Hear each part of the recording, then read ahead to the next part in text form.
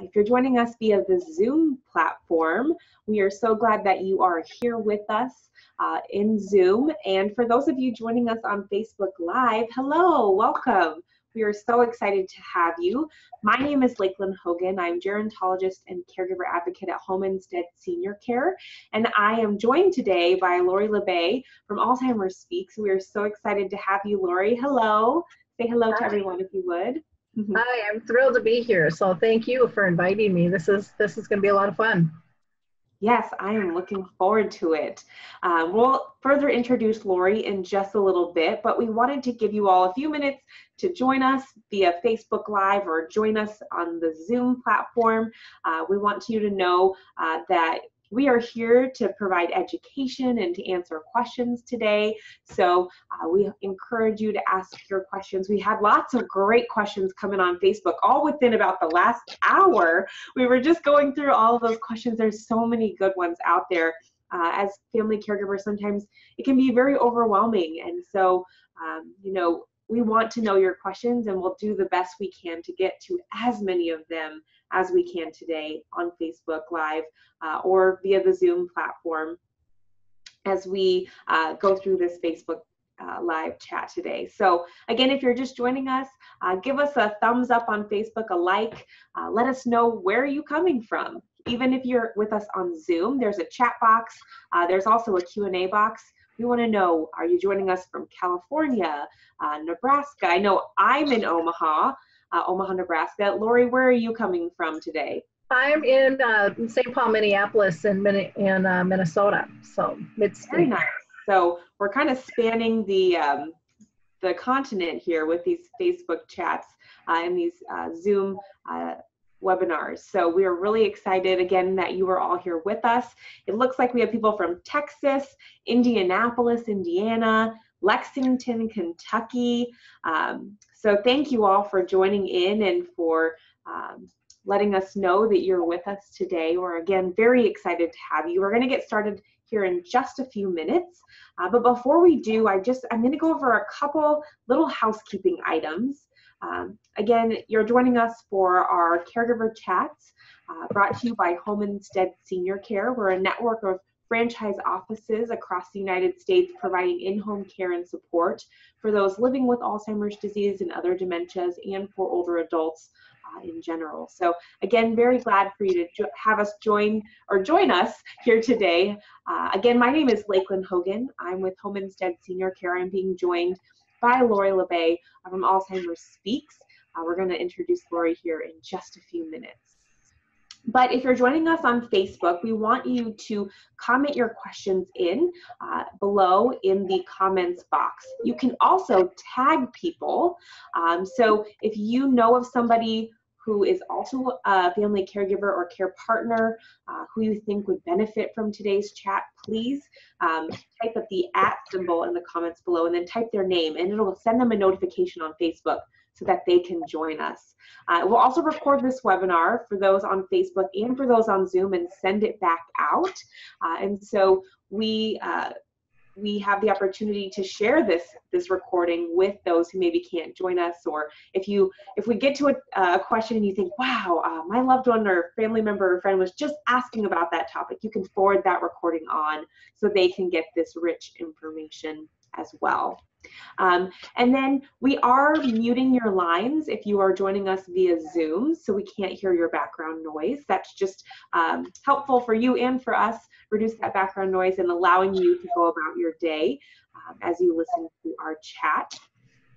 And if you're joining us on Zoom and have a question, you can type them in at any time in the chat box or in the Q&A box. You can find both of those at the bottom of your screen.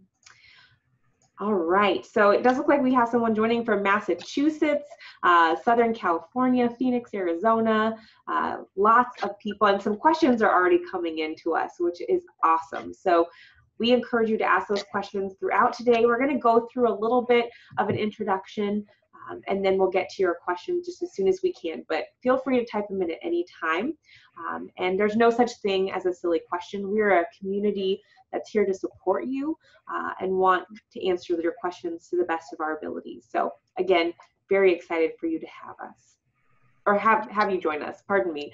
Um, all right, so today's topic, uh, we are actually hosting this chat on the longest day, which uh, is June 21st. Obviously, that's today's date, and it's the day with the most light. And so the Alzheimer's Association on a national level has kind of captured this day as the day where they're raising awareness and funds for Alzheimer's disease and other uh, types of dementia. Uh, they're also bringing light to the, the uh, fact that caregiving can be challenging. But the great thing um, about today is we are bringing you hope uh, and tips and resources. While the challenges might exist, there are resources and support out there for you as family caregivers. And so that is our goal today is to share that information with you. So uh, without further ado, again, Lori, thank you so much for joining us.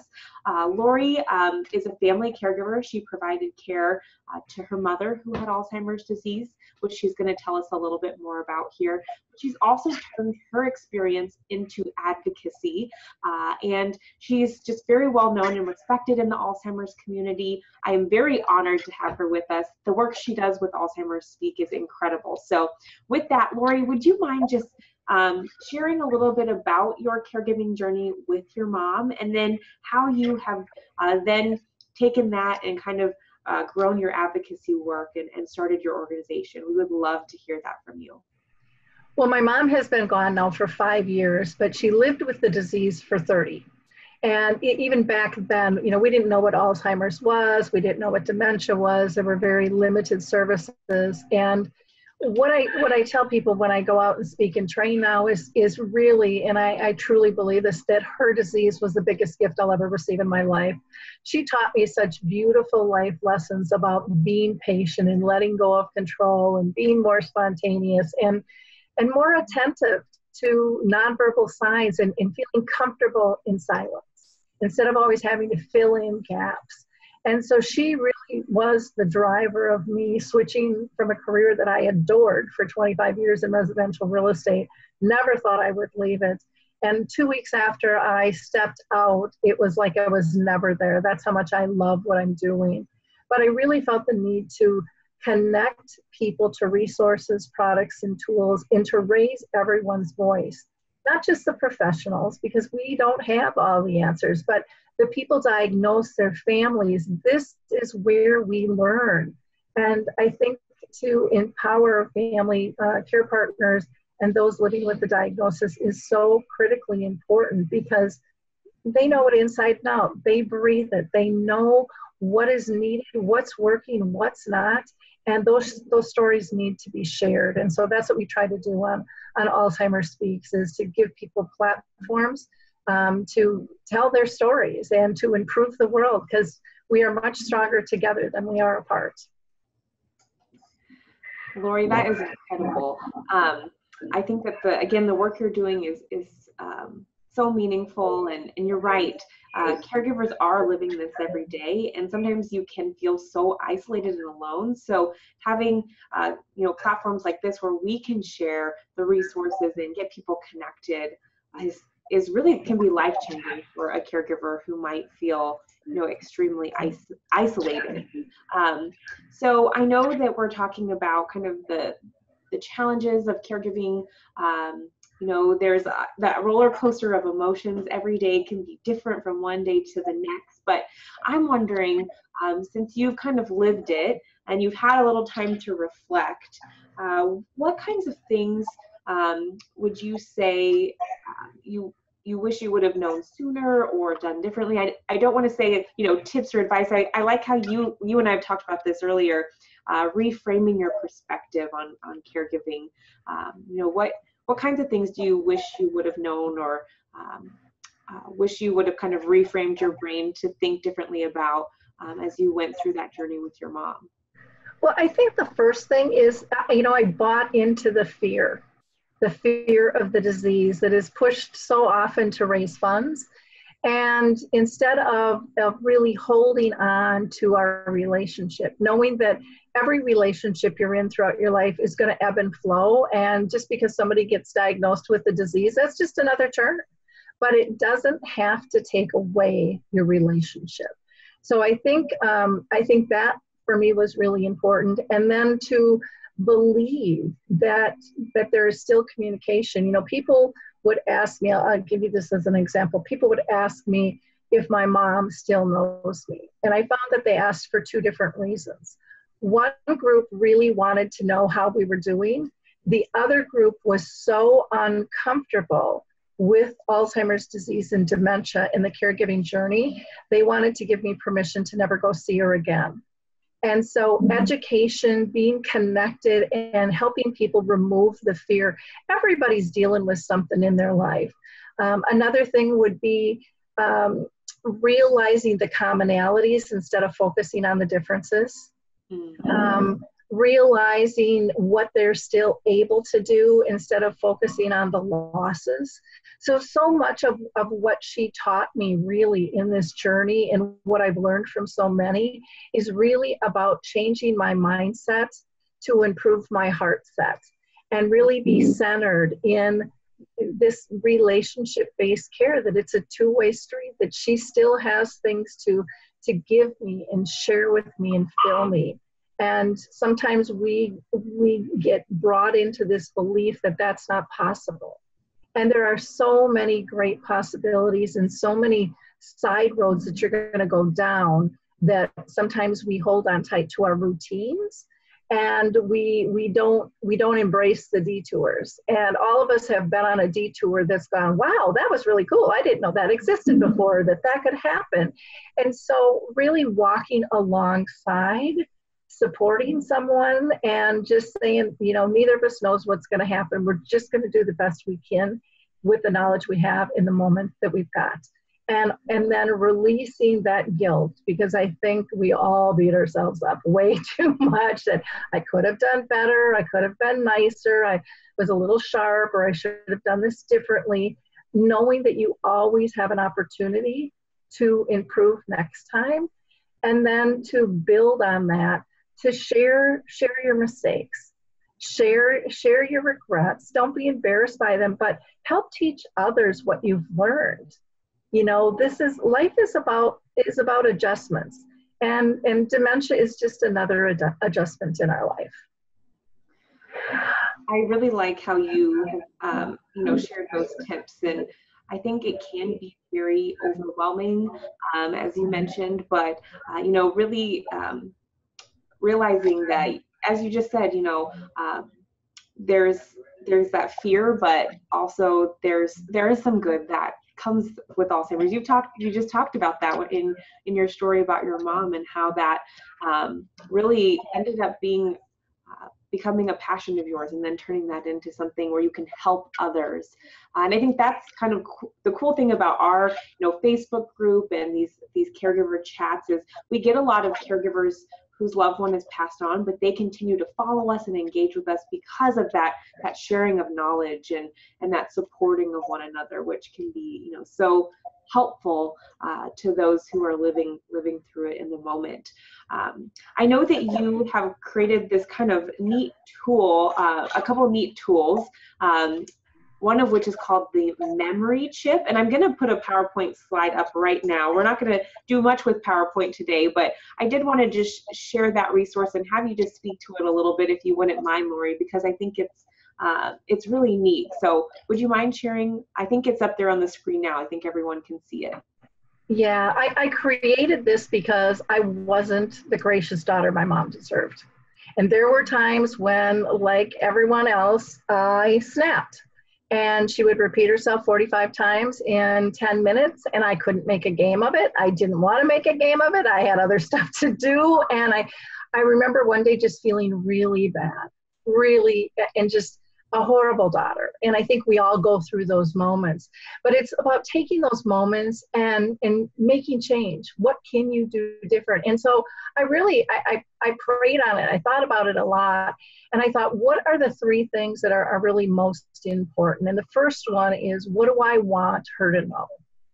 And I, as a family member i want her to know that she is loved that i love her deeply um, but this tool can also be used for professionals. And so, from a professional stand, typically we want them to know that we are there to support them, to, to help them, to guide them, um, and, and to be in relationship with them. But our words aren't enough. we have to really learn to use our multisensory engagement. So that's tone of voice. How do we approach? Do we touch? Are we wearing a cologne? All of those things help them remember who we are because they're reaching out to different pockets in terms of recognition. And again, keep in mind, it's not about what we do, it's about how we make them feel. So, how do we make them feel comfortable besides just saying words? Because words might not be processed by them. So, all of those things are really important.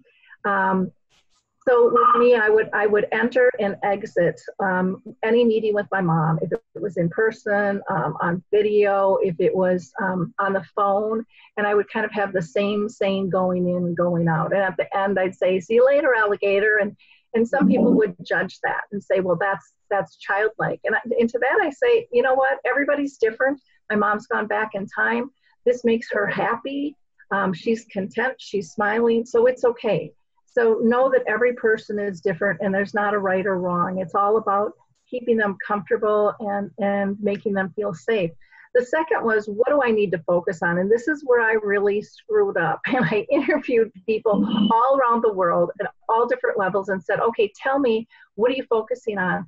And I felt really good because everybody had a checklist, everybody had a list of what they needed to do. And this list was all tasks regarding their person with dementia. And, and I was like, okay, I got this down. So I was feeling good. And then a couple months later, I woke up literally in a cold sweat. And I thought, oh my gosh, how did I miss this? And what I missed was this subtle twang in everyone's voice that didn't have a word, but it was just kind of that tone and texture of, of their verbiage that said, This isn't how I pictured my life. And I thought, oh man, I, I have to not focus on these tasks because as a care partner, you know, we take this seriously. We want to do a good job. We know everyone's hovering over, watching us, making sure we're doing a good job. We want to be, you know, we, we want to you know, give them what they've given us. Um, we want to live up to everyone's expectations, our own included. But what I realized was really what, what I needed to focus on wasn't the task. It was was she safe, was she happy, and was she pain free? And when I focused on those three things, I did my task differently. I was able to breathe and sit next to her on the couch and just hold her hand and maybe sit in silence. I was able to release some of those tasks and realize someone else could step in that i didn't have to be the end all be all that everybody brings something to the relationship and is and it might not meet my standards or be the way i would do it but you know what? The rest of my life doesn't run like that either. And you know diversity is is just a wonderful thing in life. And we have to allow everyone to bring their diversity their relationship style to that individual and not take them away, take that, take that away from them. And then the last thing was, what do I want to remember? And I found so many care partners were so worried that they weren't going to remember the person who was. Well, none of us are who we used to be. Look in the mirror. You know, most of us have aged, we've been married and divorced and in and out of relationships and jobs and moved and life life is all about adjustment but we can capture moments of joy. And again, I think we are we are taught to focus on what is lost. And when you can change that mindset of what makes them happy, you know, when they're happy and content, you can breathe. When they're anxious and frustrated or sad, um, you know, we mirror that back and we're trying to fix that. So we have to really learn to appreciate those moments. And maybe what made somebody happy and content before isn't what what it is today. And that's okay. That's okay. But just note it, take a picture, make a recording um, so that you don't have to worry about not remembering and and that is one thing I, I, know in my own personal life i was so busy being busy because i liked putting that check mark by things. That that was empowering to me especially with the disease that doesn't have a cure and we don't know what's going on. I could get empowered by moments of joy moments of peace moments of quiet. And when you can get to that space, oh, I, I, there was this turning point for me, and uh, my friends started calling me the calm one. How are you the calm one? And it's like because that's where I want to live. That's that's what I want to bring. That's what I want to bring to others. And so a lot of it is about shifting our attitude to one of gratitude and and really embracing our relationships. If it's a family, a friend, or or if it's a professional relationship, getting to know them and and letting them know you. Because uh, also um, many times I found that we that they're perfectly content till we walk in the room all wired. And then they mirror mm-hmm. our attitude back. And we have our Stepford wife smile on, thinking, they don't know I'm nervous and I got all this stuff to do, but they're mm-hmm. reading all of our body language. That doesn't go away. And so then now they're anxious and now we call now we call them out on a behavior when they were fine before we walked into the room. They are just mirroring back what they're seeing. So know that all of your nonverbals along with your voice um, will be picked up and analyzed by a person with dementia and they many times will mirror back what it is we are projecting. So long answer there, but that's that's why I created the memory chip was really to help me focus on what's really important and it and, and I really always thought it was the checklist. And it really isn't. It's about the relationship. It's about being safe, happy, and pain free for both of us there are so many great was pieces of, of oh my light went off whoops sorry about that everyone um, uh, so many great pieces of information that you you just shared with us and i love this tool and uh, i love what you said you know um, looking for those moments of happiness and joy and and i think um, from our previous conversation do you have a a great uh, explanation of of happiness in your mom and how it started to look different as she kind of uh, went through the disease. Uh, would you mind just speaking a little bit to that? And I, I'm a, uh, we have a picture of your mom if you're okay with me sharing that with everyone. oh, absolutely. Absolutely. All right, I'll get that pulled up here. So this is a story that I call uh, the difference between dignity and ego. And this is a picture of my myself, my mom, and then Barbara Lee Friedman, who's a musician. And I had two friends that said, "We want to videotape your mom um, with moments of joy for you. You've given so much to the community. We want to give something back." And so we had scheduled an hour for them to, for Barbara Lee to come and sing, and, and Nancy Chakran was going to videotape. And what happened during this time was my mom only lasted for a half an hour and there were times where she would fall asleep and then she would she would get engaged again and she would kind of weave in and out. But it was the videos are so powerful and they're on my youtube channel and, and feel free to go see them. But what it really showed me was how joyful she is. Now you can look at this picture and say you know she's not looking real well cared for she doesn't have a perm she's got broken teeth her eyebrows are a little bushier but as the disease progressed those things weren't important to my mom. Prior to that, they were very important. She was very classy, always dressed nice, looked nice. But a lot of the grooming things became um, fearful for her. She didn't she didn't know what a toothbrush was. You know, and so we went from a toothbrush to the swabs to you know the the um, um, liquids. So we tried all different types of things, and then it got to the point of this isn't important. If it's going to wreck her day for half a day, what are we really doing? Are we trying to make ourselves, are we trying to prop them up and make them look good so we're comfortable? To me, no, that, that's a wrong approach. And that's something that has to change in the industry. We have to educate people more that even, you know, the perms, their hair changes and it might not hold. Or in the nursing home, you might get somebody, you got a perm and they just throw them in the shower and now it's, it's gone. you know, um, not looking at those things, but instead, like with this picture, looking at the joyful moments. She's, you know, she has a smile. She has dimples. Um, when I look at this picture, you know, I see her squinty eyes, which is our family trademark. We're happy.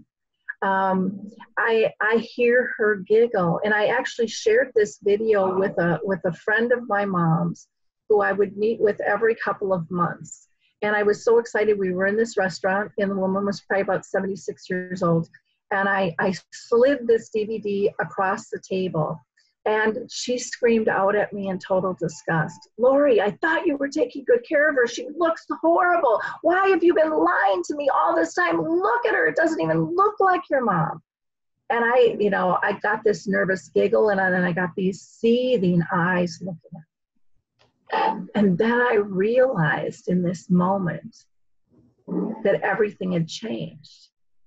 And I said to Kay, thank you. And she's like, thank you. What are you thanking me for? Lori, I, I literally, she screamed in the restaurant, I'm disgusted with you.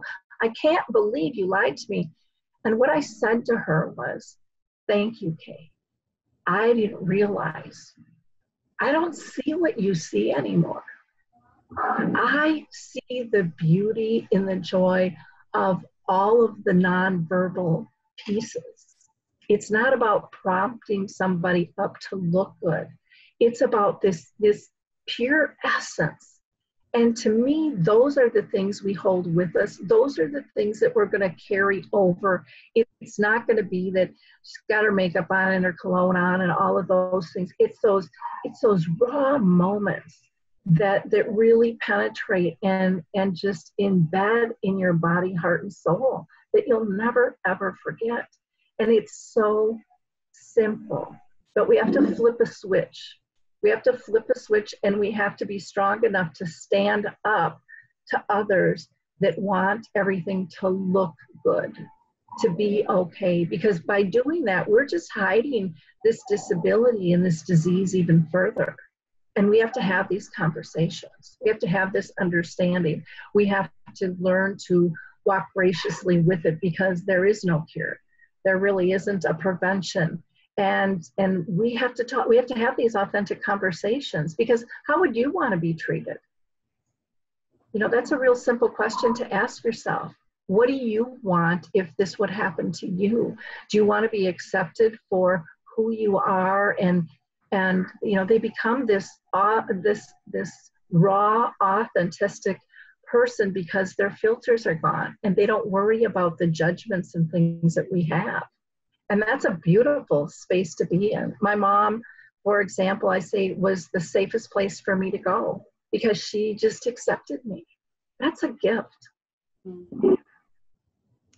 Wow that story um, there's again so many good pieces of, of, wisdom and information. And as you were you were talking through um, through that experience that conversation with with your friend what kept um, coming up with uh, coming up for me um, was that quote i don't know who says it someone far smart, smarter than me but something to the effect of people won't remember what you did, but they'll remember how you made them feel.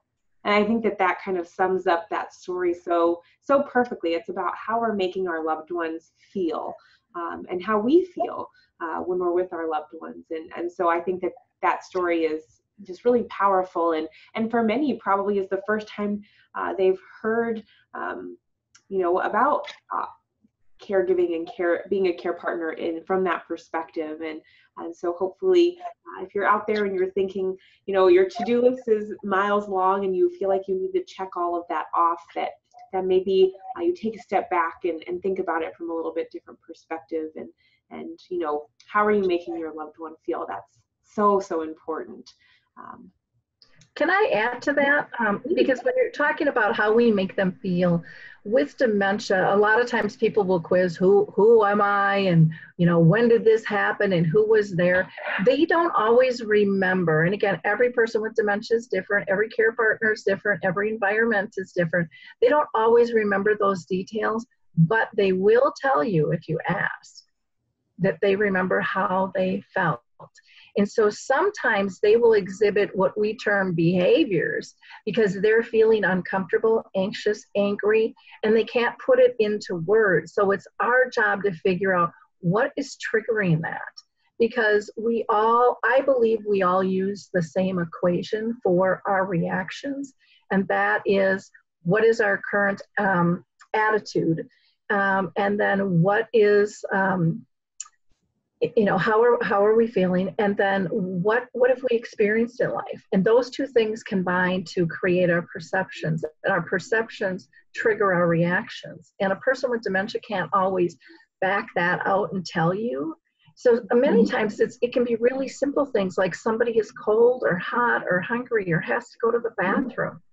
And and they feel something but they can't they can't draw the line to it or they can't speak the words to tell us and so we have to be extra conscious and what I call consciously care um, to really put that investigative hat on to, to help that process. Because so many times um, those things, those reactions can be changed to meet our standards more. Um, and again, think of think of the term behavior as well. Do you like to be told you have a behavior? No, you, are not told you have a behavior. You, you know, if you do something well, you're told it's a skill. And so, you know, how would you like to be told that you're having a behavior and you're having episodes or whatever the term is? You know, we have to we have to change some of our verbiage and look at things differently and and be respectful. And then many times we can ask a person with dementia, but we've been taught by many that that they can't communicate and so we don't even try. And a lot of times they can communicate even as the disease progresses. But again you're looking for different cues. You're looking at their eyes. What are they saying? You're looking to see if their body is is pointing in a direction or if they're holding something and trying to show you pain. So it's it's about becoming more adept with our nonverbals, just like we are with small children. And we don't question doing it for a small child. Mm-hmm. But for an adult, we, we're like, well, no, they should be able to tell us. Mm. And that's not always the case. So be as gracious with somebody with dementia as you would be with a young child. And that alone will change how you look at things. Thank you for that that additional insight there, Lori. Um, I know that there's so many questions coming in that I definitely want to get to questions here now, if you're good with that. Um, sure. And I'm just going to touch on Maria wrote in and asked, what is the difference between Alzheimer's and dementia? So real quickly, um, just to make sure everybody knows, because that can be really confusing, um, dementia is kind of the umbrella term that refers to cognitive impairment. And then there are different types of dementia, and Alzheimer's disease is one type of dementia, and it is the most common type of dementia. So that's, we'll sometimes use it interchangeably, uh, but when we use this term dementia, it might be Alzheimer's plus other types of dementia. So a few other types would be Lewy body dementia, frontal temporal dementia, vascular dementia. So uh, again, dementia is that kind of overarching umbrella term, and then there's different types of dementia that kind of fall underneath that umbrella. So Maria, I hope you find that helpful in kind of figuring out the difference between the two. Alzheimer's again is a type of dementia, uh, but Alzheimer's is the most common. So just wanted to get that quick question out of the way. I'm sure others were sitting there asking the same thing. So thank you for for writing in. Okay, so our first question comes from Jennifer. She's saying that she tries to make plans with her mom to attend memory cafes. She often cancels or say she has a stomach ache. Uh, it's hard to commit when they require attendance, and then she doesn't decide she wants to go. So um, when we, they do go, she does have a really good time, um, but uh, she's wondering, you know, any tips on how she can get her to go or uh, let remind her of that uh, the fact that she'll really like it when she gets there. I think that that kind of applies probably to a lot of outings and situations um, where you know family members are trying to get their loved one to a doctor's appointment or uh, to engage socially. We know social engagement can be really important, especially in those earlier stages of dementia. Um, so, any thoughts for Jennifer on that question, Lori? Oh, that is so common. And so one of the things, you know, that we learned to do was to not tell my mom up front because she didn't have a sense of time. And so she was worried she was going to be late all the time or, you know, why is she going? You're you're going to this because something's wrong with me.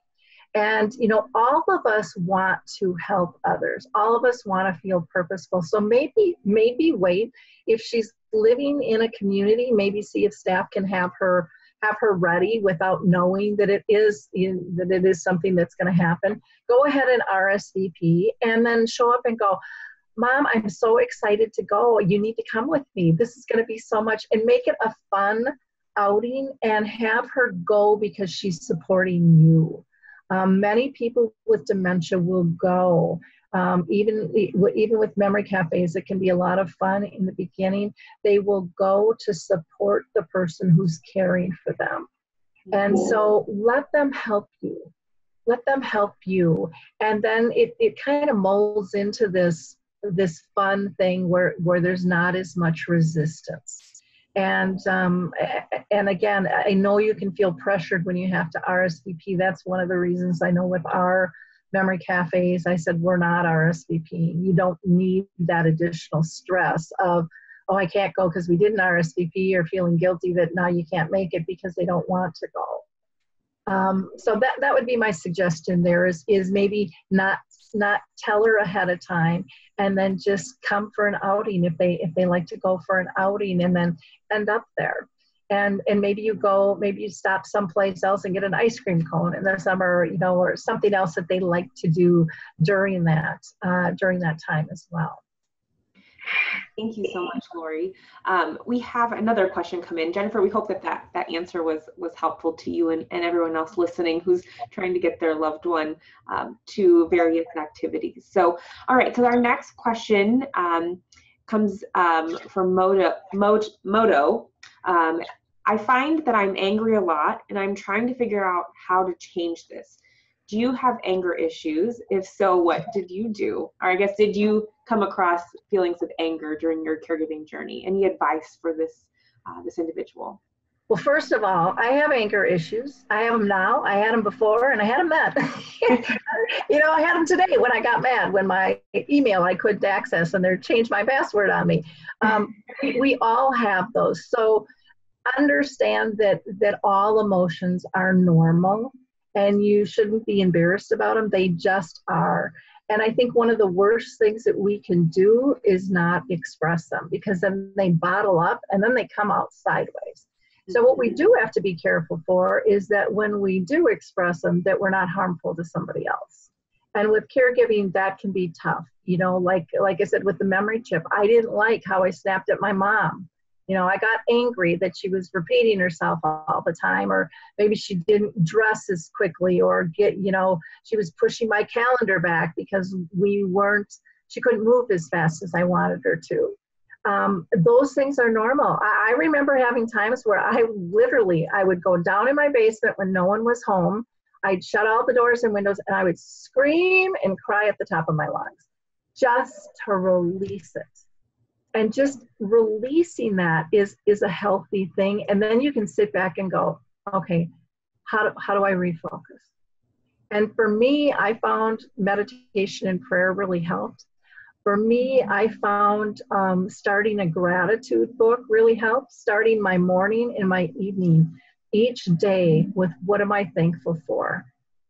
And that might have to do with my loved one in my caregiving journey or it might not.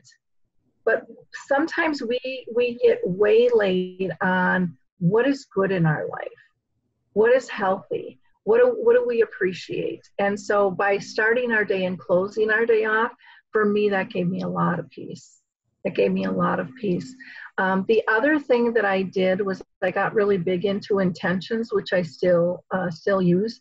And i asked i asked for help um, to my greater power. It doesn't make any difference, you know, who you believe in, but just knowing that you're not alone and admitting where you're lacking and and not necessarily asking for specifics because I don't think we always know even what's available or what's possible, but just asking, you know, to be more gracious, to be more patient, to be more compassionate, to slow down, to be more present.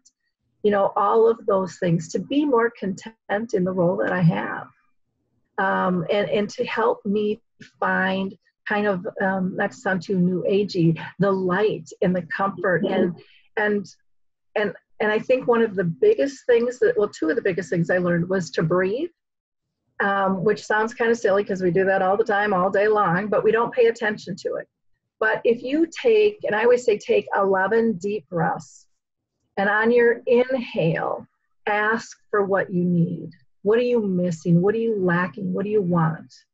And on your exhale, release all the toxins in your mind, body, and soul and just push them out and just get rid of that anger, that negative thought, or that inner critic that's always snapping at us.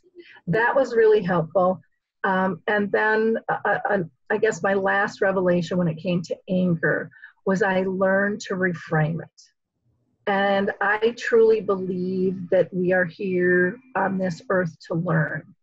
And so when I would get really angry, and when I still get really angry, I, I, you know, I believe in, in God and a higher spirit, and I call out and, t- and I say, What is the lesson? what is the lesson? There's got to be a reason you're putting me through this. And what was funny with that phrase was then I was focusing on things that could help me instead of spinning of the minutia of the anger or the frustration or whatever it was. I started looking for answers. My my mind started reframing what I was seeing, and that to this day is probably one of the most powerful things is to know that there is there is something to learn by this experience. And then again, don't forget to share it with others. Hmm.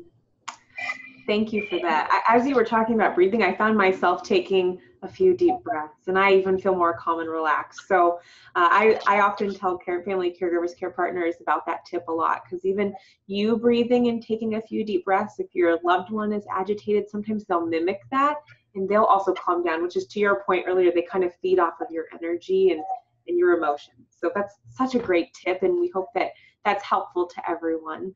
Um, we've had a couple questions um, come in around, um, you know, guilt, depression, those types of things. One specific guilt related question uh, came from Sarah. She says, How do you deal with the guilt of not visiting your loved one in a facility as often as you feel you should be going?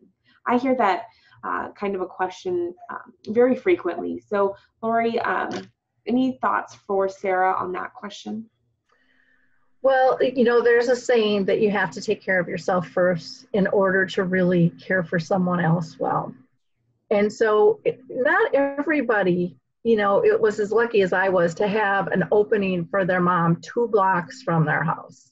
Mm. I mean, what are the odds of that? Um, and and and so my brothers didn't go very often, and they didn't go. I, I think you have to understand what are the reasons you're not going for. So with my brothers, it was more about they didn't want to deal with the emotions and the loss.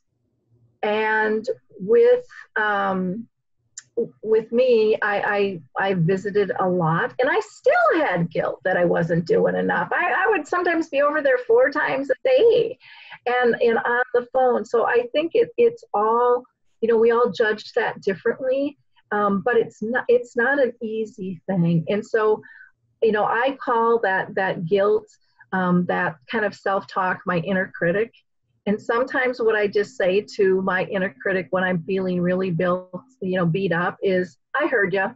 Now go away. I'm mm-hmm. doing the best I can with the knowledge I have and the resources I have.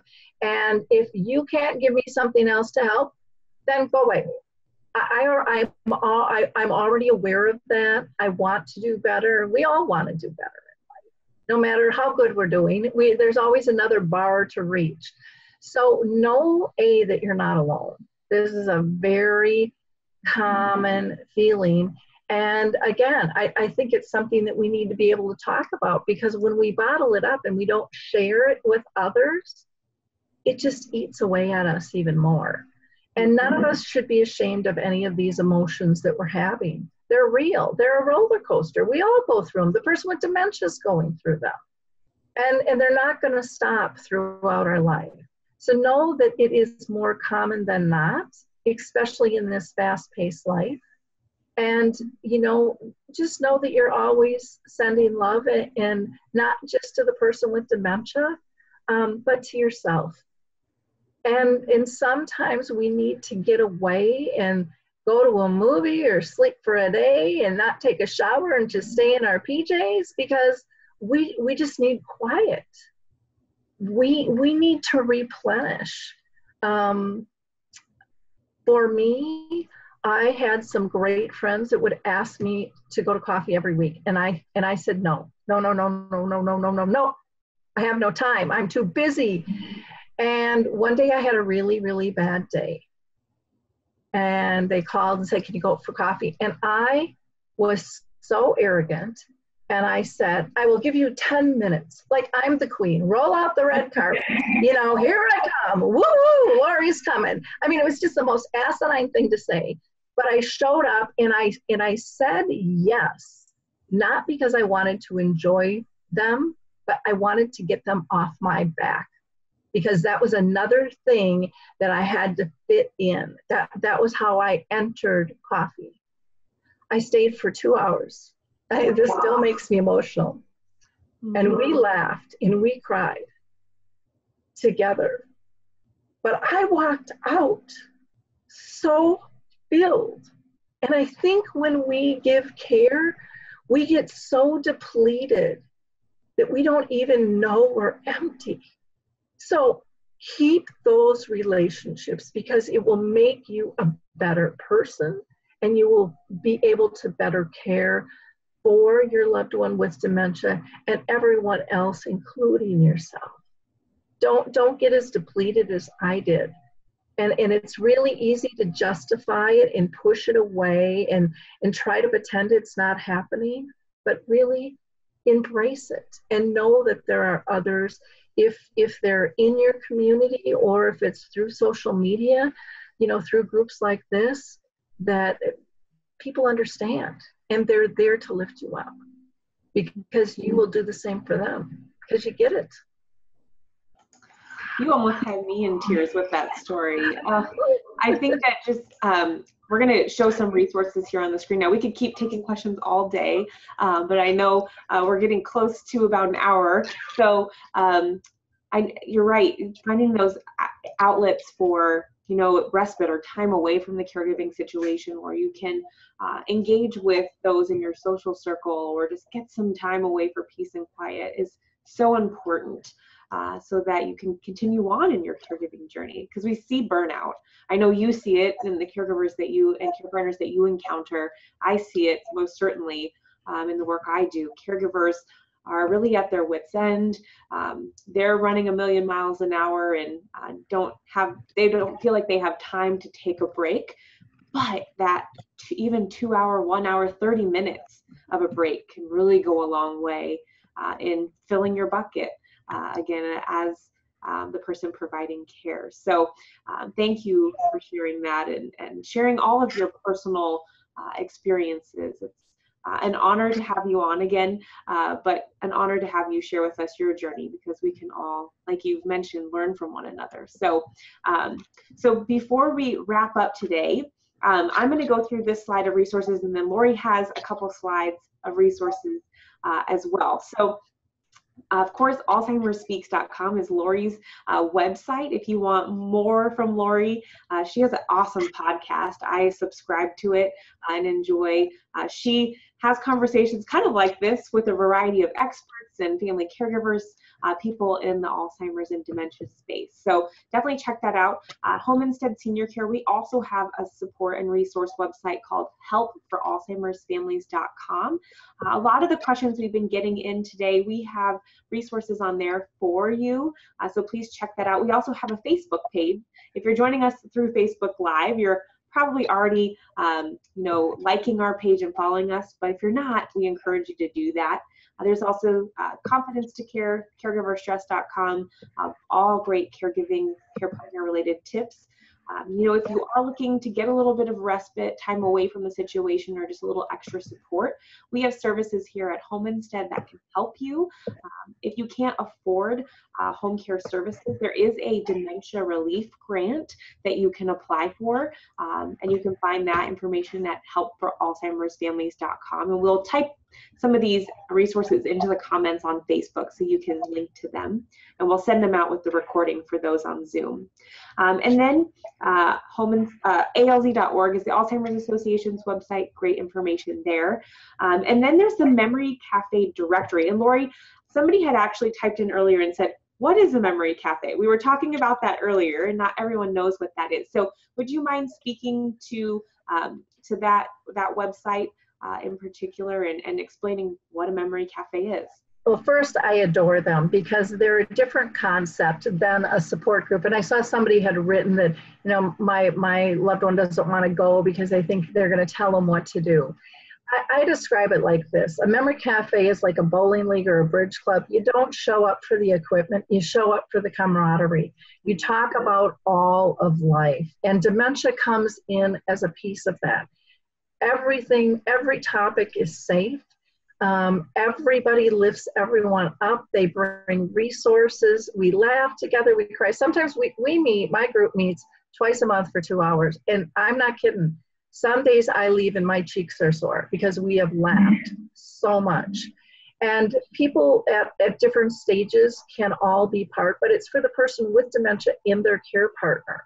Because so often family and friends kind of leave them on the wayside. And, and so this is a new support group of like-minded people that it's just the, the relationships and bonds that are built so quickly are amazing. And i've got a video um, or i've got a few videos on memory cafes that will talk talk with that and kind of give you a little slice of, of what people feel. Many say that it, it it fills their soul you know it refuels them and um, and we get our, our dementia um, members and they're doing one liners back and forth. They keep us in stitches sometimes. So um, everyone is different but you can go to memorycafedirectory.com and um, they have uh, the best list and the easiest access to be able to find if there's one in your area. And i'm always open to talking with people and, and mentoring if they're interested in starting one as well Wonderful, thank you.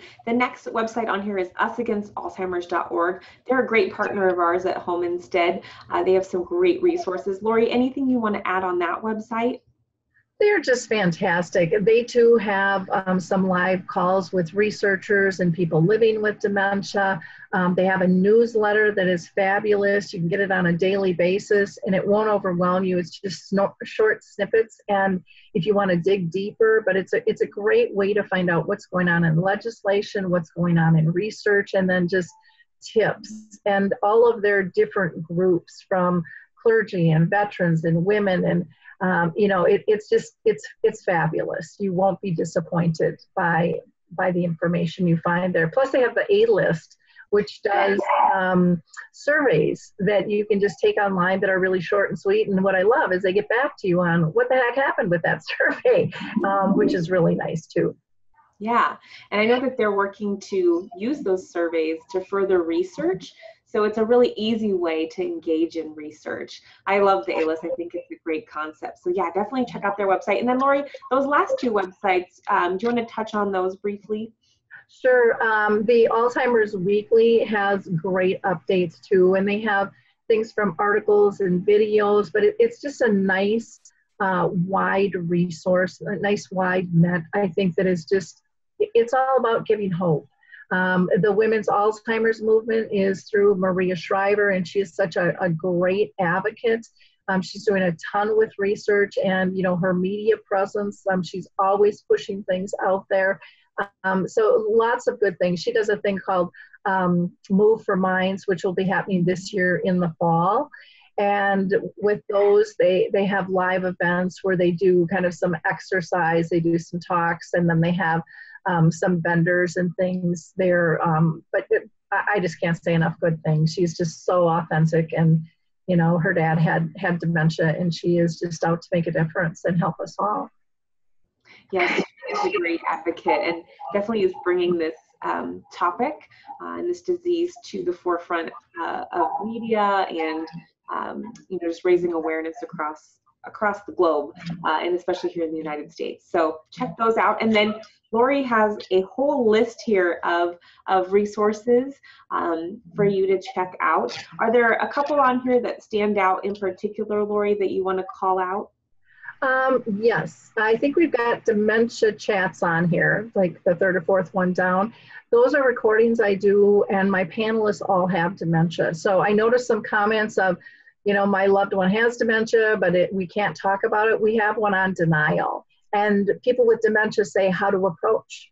Um, and sometimes just watching these videos change their perceptions because their perceptions many times are negative, like many of ours are, that a person can't communicate. And and by watching those things change a ton. But we we cover all kinds of topics. Uh, there's one there of how they want us to care and support their care partners because they worry about that. Um, we we touch base on the radio show. Everyone is welcome. I interview people all over the world. So people living with dementia, families have stories.